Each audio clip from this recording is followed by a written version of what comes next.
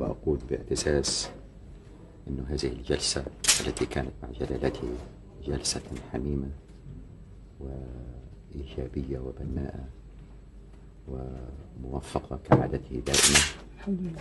حيث استمعنا إلى آرائه السديدة واستمعنا إلى ملاحظاته القيمة و آه، في نفس الوقت الذي شرحنا لجلالته جميع الموقف من جميع جوانبه ومن جميع تفاصيله آه، وكذلك آه، ما نتوقعه في الأيام القليلة القادمة.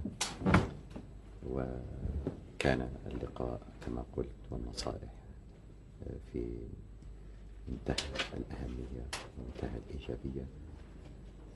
وأنا أشكر جلالة السلطان على ذلك من أعماق قلبي ووجداني باسم قيادتنا وباسم اللجنة التنفيذية وباسم الشعب الفلسطيني باسم أطفالنا وباسم نسائنا وباسم جماهيرنا.